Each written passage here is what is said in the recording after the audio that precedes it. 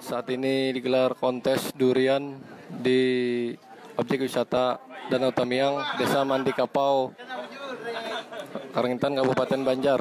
Gubernur Kalsel Paman Birin meninjau peserta kontes durian didampingi Kepala Dinas Tanaman Pangan Hortikultura Kabupaten Banjar.